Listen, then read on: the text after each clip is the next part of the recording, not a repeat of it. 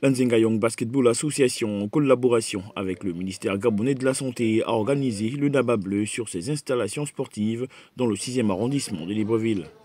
Une organisation mêlant sport et santé orientée sur les cancers masculins qui a vu la participation et le soutien d'Adrien Mougougou, ministre gabonais de la Santé. C'est novembre bleu, donc de la lutte contre les cancers masculins, particulièrement ce cancer de la prostate qui est le premier cancer de l'homme.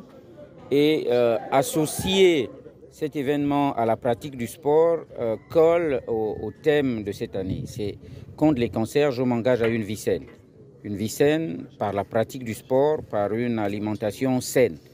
Et euh, nous ne pouvions pas rester insensibles à l'initiative donc de la NABA que nous encourageons. C'est également une façon pour la NABA de lutter contre les cancers masculins avec au menu des sensibilisations, des séances de fitness et de basketball. On ne peut pas faire du, du basketball si on n'est pas euh, en bonne santé.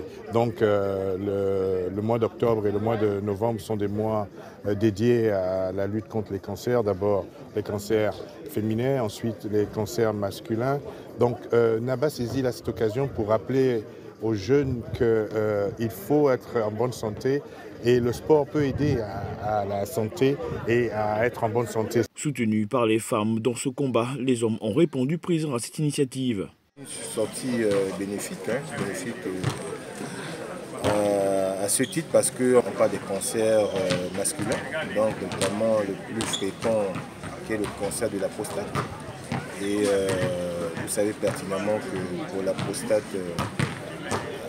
diminuer les risques, c'est quand même avoir une bonne hygiène de vie et pratiquer du sport. Après le Nabarose, l'Anzenga Young Basketball Association pose un autre pas dans le domaine de la santé avec cette journée sportive contre les cancers masculins.